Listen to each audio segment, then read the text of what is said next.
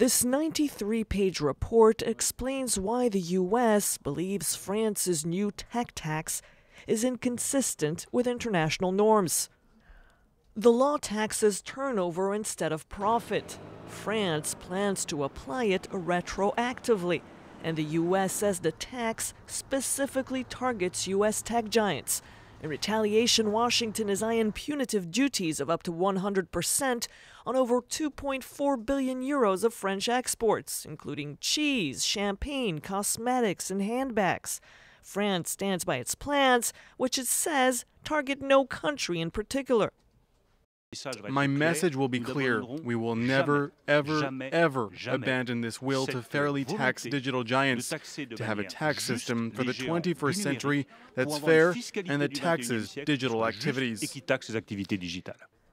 The 3% tax will be imposed on firms with global revenues of more than 750 million euros and French revenues of more than 25 million euros.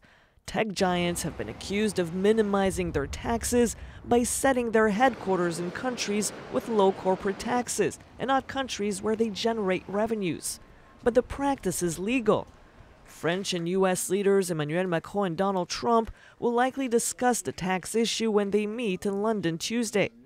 The U.S. negotiated with France last summer a global overhaul of digital tax rules, which could have avoided current tensions, but the deal was never approved by President Trump.